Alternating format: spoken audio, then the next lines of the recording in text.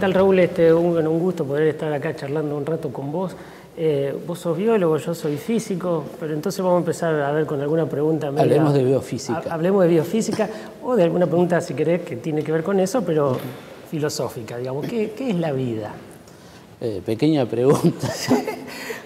Eh, sí, para los biólogos la vida es algo que ocurrió una vez en todo el universo que conocemos y es lo que dio origen a todo lo que hay ahora, animales, plantas, bacterias, eh, hongos.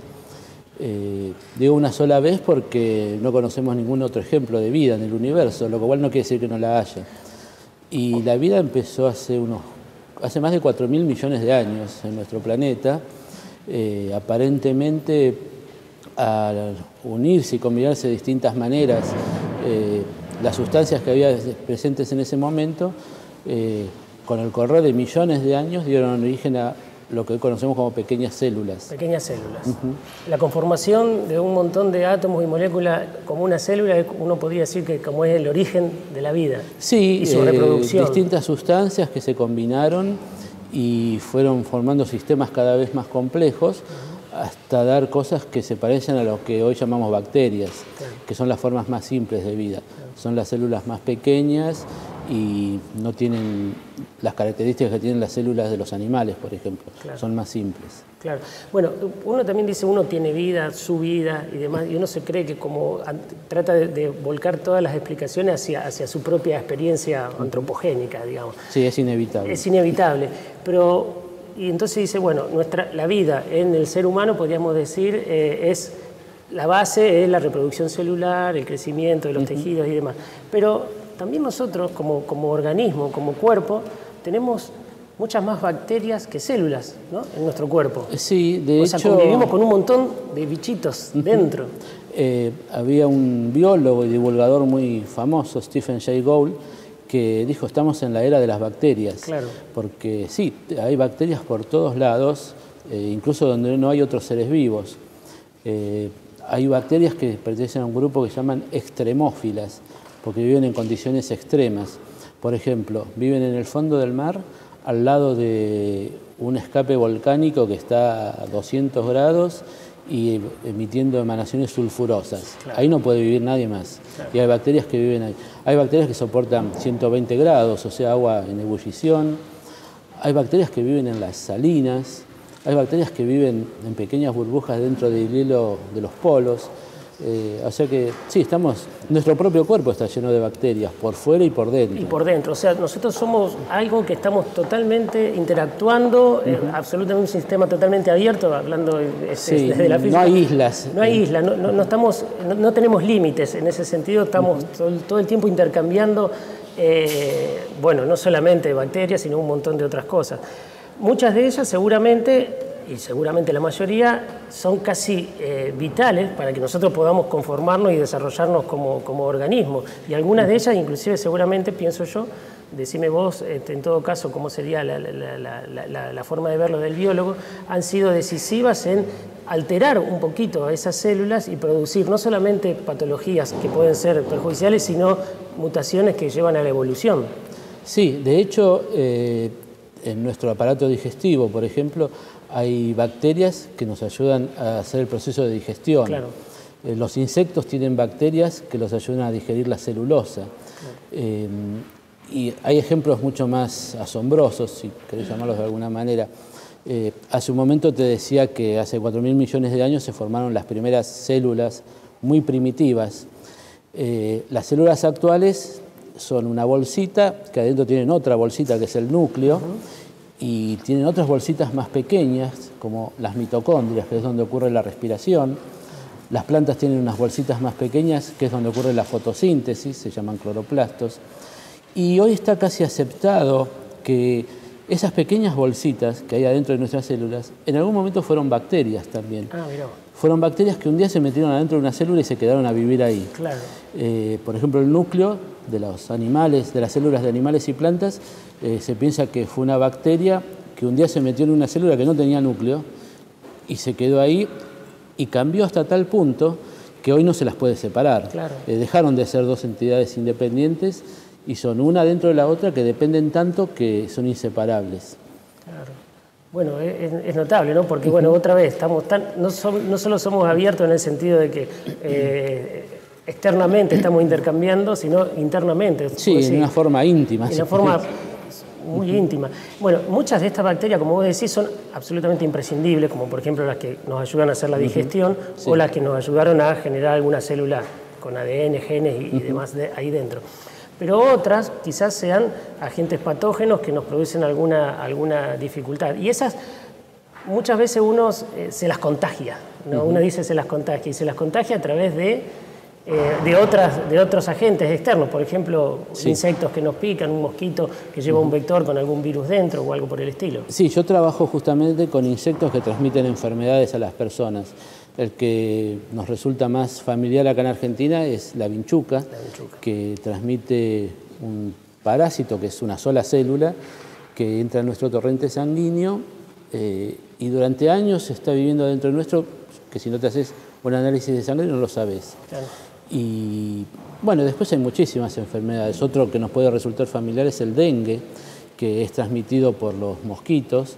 Eh, es un microbio que cuando el mosquito te pica, lo inyectan la sangre. Y así hay muchísimas enfermedades. La enfermedad del sueño en África, eh, el, virus del Nilo, que hace poco afectó a Estados Unidos. Eh, ahí es un caso especial porque en general no se considera que los virus eran seres vivos. Eh, los virus son una cajita que adentro tiene ADN, pero no se los considera seres vivos porque no respiran, eh, no hacen fotosíntesis, no se pueden multiplicar y esas son todas propiedades que tiene que tener algo para ser un ser vivo.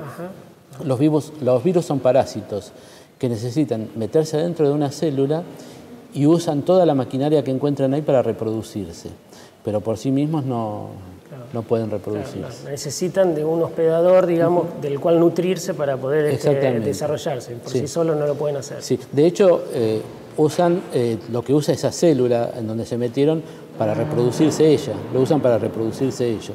¿No será después, dentro de miles y miles de años, ese virus no se transformará en parte de la célula? Eh, bueno, eh, algo de eso ocurre, porque el ADN que tienen los virus adentro, en algunos casos se inserta en el ADN de la célula que invaden.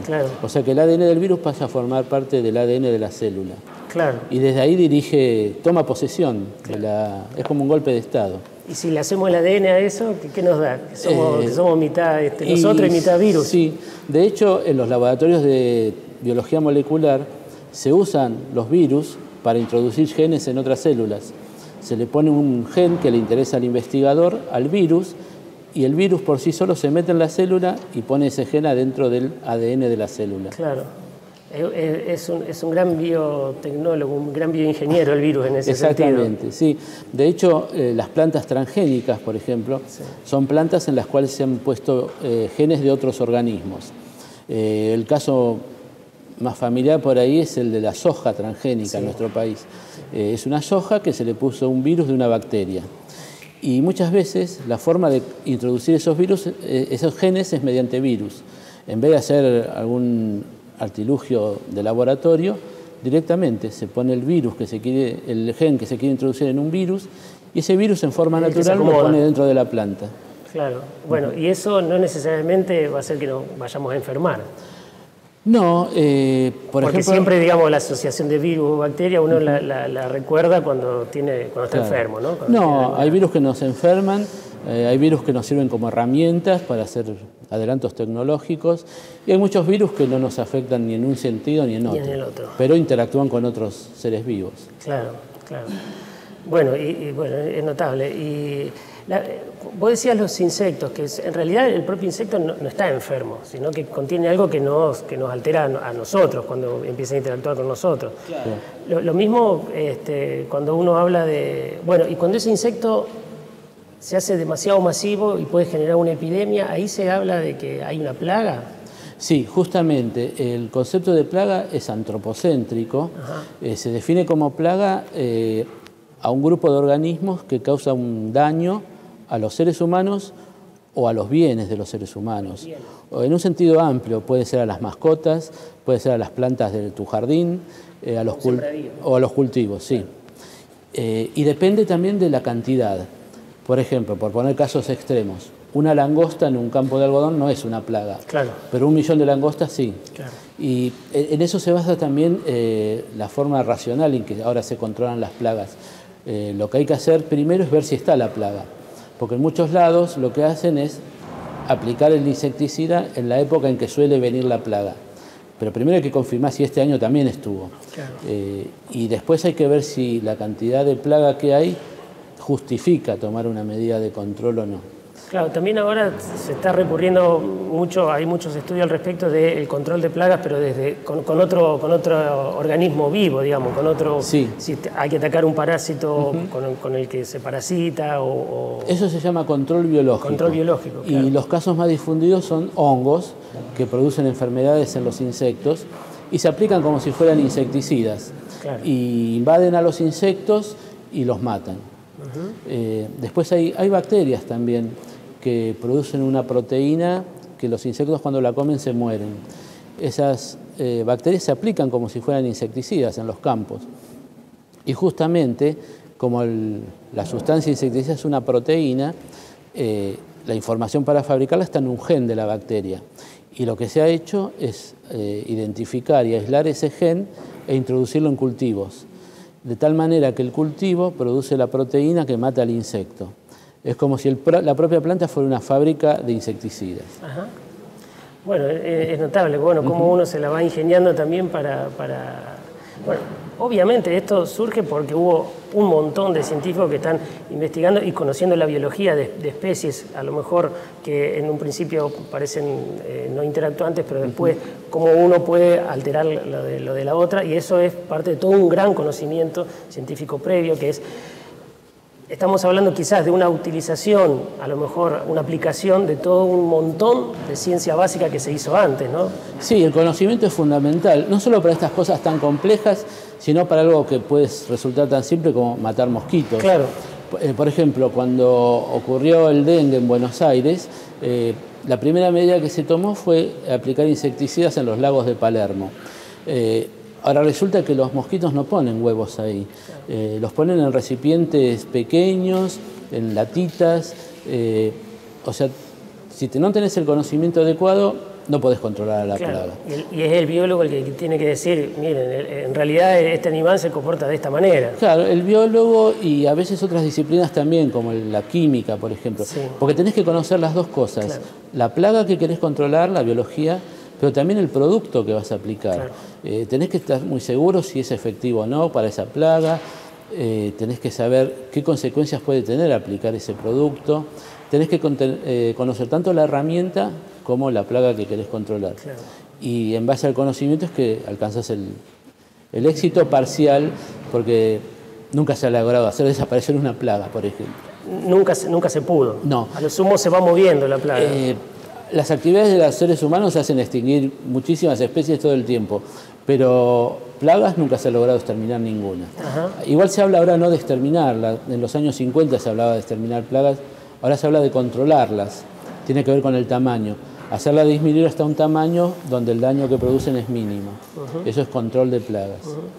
De todas maneras, hay especies que están apareciendo y especies que se están extinguiendo todo el tiempo, Todo el tiempo. digamos. Sí. Nuestro planeta es absolutamente dinámico. Aunque es un proceso que tarda. Estamos hablando de tiempos- geológicos. tiempos geológicos Sí. que son muchos mayores a los que uno cree Sí. manejar. Eh, sí, no lo veremos durante nuestro mandato.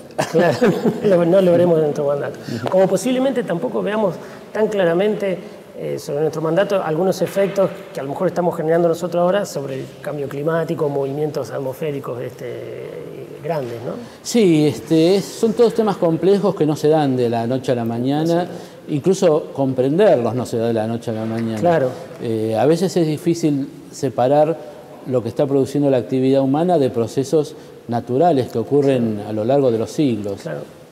De hecho, hubo mucho más, en épocas que ahora yo no recuerdo cuántos años atrás, hubo mucho más dióxido de carbono en, en la atmósfera terrestre que la que hay ahora. Sí. Este, y entonces, en ese sentido, uno podría pensar que había mucho más efecto invernadero, por ejemplo. Bueno, eso me hace acordar eh, también cuando aparecieron los primeros seres vivos en la Tierra, no había oxígeno en la atmósfera. Claro. Y lo produjeron ellos. Lo produjeron. Este, o sea que los propios seres vivos modificaron su entorno y dieron un, ambiente que es el que permitió que después aparecieran plantas y animales. Cambiaron drásticamente el planeta. Totalmente, sí, sí, sí. El planeta que conocemos ahora, eh, muchas de sus características se deben a las actividades de los seres vivos. Eh, actividades naturales, porque eran microorganismos. Eh, Raúl, cambiando un poco de, a lo mejor de, lugar de la, de la, charla. El ángulo de la información. bueno, no, no creo que demos ninguna información tampoco en este momento tan interesante como para que sea tapa de diario, pero sí, hay algo, vos sabés que aquí en Santa Fe hace muchos años, 10 o 12, 13, no, recuerdo bien cuántos, eh, la universidad, el coro, el coro de la Universidad del Litoral hizo un espectáculo. Esta es una anécdota que yo siempre cuento, un espectáculo en que se llamaba mercado.com. Y el, que ideó ese espectáculo quiso hacer una crítica un poco a la década eh, neoliberal y a la sociedad de consumo y a, la pérdida de, algunos valores, sobre todo del ideario colectivo, de, las utopías y demás. Entonces, a través de la música, de vertebrados con, la música, aparecían todos los actores sociales que mostraban su conflicto, el conflicto del momento. Así aparecían los docentes, el obrero, el artista plástico, hasta las prostitutas aparecían. Pero en todo el imaginario de ese paneo, digamos, social, no había ningún científico. No existía. Y no es una crítica a quien hizo el espectáculo, justamente. No es una crítica, sino es una crítica a la sociedad como concebía. No lo tenía asimilado. no lo tenía al, hecho científico naturalizado, como a mí me gusta decir. Eh, desde hace unos años de esta parte hay muchísimas personas que han se han dado cuenta que ese hecho científico o la actividad científica o la generación del conocimiento también tiene que ser visibilizada. Y hay actitudes que uno podría hablar de divulgación, de difusión de la ciencia, de popularización, pero yo creo que el objetivo final es este de, naturalizar que hay, hay, ciencia entre nosotros, hay científicos y hay gente que está generando conocimiento y eso se tiene que conocer a nivel masivo. ¿no? Eh, este, y una, vos sos una de las personas que está especialmente, a lo mejor dedicado por alguna razón que a lo mejor nos podés contar, eh, e, en, esta intención de, acercar el hecho científico a la gente. Y, vuelvo ahora a un ejemplo bastante actual. E, este fenómeno atmosférico que apareció hace poco, que, donde se iluminó la noche en el norte argentino, porque algo de basura interestelar entró a la atmósfera y explotó, hace unos años yo estoy seguro que se hubiese recurrido a explicaciones medio este, paranormales. Sin embargo, la actitud que tuvieron todos los, los, medios de comunicación en general fue recurrir al científico. Y la identificación del interlocutor, de quién es el que le puede explicar algo, ya es, un hecho que eh, determina un cambio cultural enorme en, estos últimos años. No sé si vos este, ves esta visión así. Sí, en, en la última década han pasado cosas inéditas en ese ámbito, en el de la divulgación científica. Eh, ahora vas a una librería, hay colecciones argentinas de libros de divulgación. Eh, hay los medios ves todo el tiempo que consultan a los científicos eh, cada vez que pasa algo que pueda tener una explicación científica. Desde, sin ir más lejos, hace poco me llamaron para ver si podía hablar qué posibilidad había de que Chávez hubiera sido envenenado. eso porque yo escribí un libro sobre venenos. Este, bueno, a veces los límites son medios este, borrosos, ¿no? Pero, no, Pero, es preferible o, es deseable que, la primera actitud sea preguntarle a alguien que puede este, tener conocimiento Este, original. ¿no? Ves que varios diarios tienen secciones o suplementos de ciencia. Eh, sí, son cosas que antes eran impensables en décadas anteriores. Y hay buena respuesta del público también. Claro. Eh, por ejemplo, el sábado pasado estuve en la Feria del Libro porque se cumplieron 10 años de la colección Ciencia que Ladra, de Editorial Siglo XXI, que es donde tengo publicados dos libros de divulgación. Y también una sala llena y mucho entusiasmo de la gente de, participar, de hacer preguntas. Eh, tenemos los libros de Paenza, que se han vendido cientos de miles de ejemplares, eh, de libros de matemática, ¿no? que si vos decís, ¿quién va a comprar libros de matemática? Pero bueno, son libros de divulgación, tienen anécdotas divertidas a veces o curiosas y se busca la forma de llamar la atención y de paso la diferencia con la ficción es que si lees divulgación aprendes cosas. Claro. Claro, y a lo mejor en una actitud no específicamente de, ponerse a estudiar algo, ¿no? No, claro. empieza a adquirir conocimientos de manera un poco informal. es una mezcla de divertirse y aprender. También depende de quién sea, de la forma en que esté hecha la divulgación. Bueno, aprender es divertido. Sí, seguramente. Eh, fíjate también que ahora con el cable, internet, hay acceso a canales que hacen muy buena divulgación. Eh, son espectaculares, qué sé yo. Puedo decir nombres como Discovery Channel, eh, National Geographic. son cosas muy atractivas para el público en general. Claro, uno no puede, no puede argumentar de que no tiene acceso a la información. No, es difícil. Seguramente hay todavía grupos que no tienen un acceso que uno se imaginaría que deberían tener, pero eh, digamos está muy generalizado. Sí. Por, lo menos es, mucho más este, accesible que hace un tiempo. Sí, seguramente. Este, Igual sigue habiendo de todo. ¿eh? eh por supuesto que viene, mucha, mucha, sedimento en el río revuelto. ¿no? Todavía hay mucha pseudociencia eh, que no tiene fundamento científico. Eh, todavía ves periodistas serios entrevistando a gente que habla de, ovnis sin ningún fundamento científico. Claro. Eh, o también, también se ven bastante, y eso, eso sí, ahí hay un peligro, hay un filo este, delicado, en muchos portales y demás, noticias pretendidamente redactadas como que son producto de una investigación científica que son hasta inventadas muchas veces. Y sí, sí, sí, hay de todo. Sobre todo cuando uno habla de movimientos sociales o, gustos. Sí. Este, ¿no? bueno, una función de la divulgación también es ayudar a la gente a distinguir. porque si vos no estás en el tema, en el ámbito científico, eh, por ahí te cuesta distinguir qué es, qué tiene fundamento científico y qué no de lo que se dice.